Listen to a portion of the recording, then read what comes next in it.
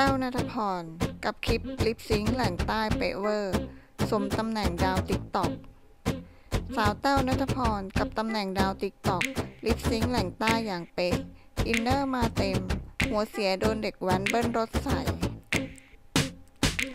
ล่าสุดสาวแต้วณฐพรทำคลิปในติ๊กต็อกโดยการลิปซิงสาวใต้คนหนึ่งที่ถ่ายคลิปบ่นเด็กแว้นที่ท่อดังและชอบเบิ้ลรถใส่ท่าทางเธอหัวเสียไม่น้อย ร็วแบบน้ำไหลไฟดับ แต่งานนี้สาวแต้วของเราสามารถลิปซิงค์ออกมาได้ที่ทุกเป๊ะคนเวเคยอเป็นร์เหมือนเราไหมเป็นงัเวบลาที่เราปากขับตรงรถอทุยู่กบนคถนนดีๆใช่ไหมำแถมแล้วอิมันนก็เนอจะร์มีมาเครื่องประเต็มเภทหนึ่งที่แบบมันท่อดังพอมันโดยเจ้าตัวได้แชร์ลงในมัไอก็จะเบิ้จีรถพร้อมใส่แคเราปชั่นว่าคือเราก็ไม่เบิ้ลเข้าใจรถเหมือนกันว่าทำไมมันต้องเบิ้ลทำไมพวกปันเนียนคือทวงคืนตำแหน่งดาวติ๊กต็อกคือแบบเราขับจนเรียกยอดรายและคืเสียงแบบฮาเรจากตใจม่แฟนๆได้มากเลยทีเดียวเข้าใจไหมก็คือแบบใช่คนสมัยนี้ขับรถได้ไปด้วยอะไรต่างเป็นชาติควันควันนี่เจือนนี่ใหญ่แล้วอ้ายไม่รู้อีแรงปลือชาติ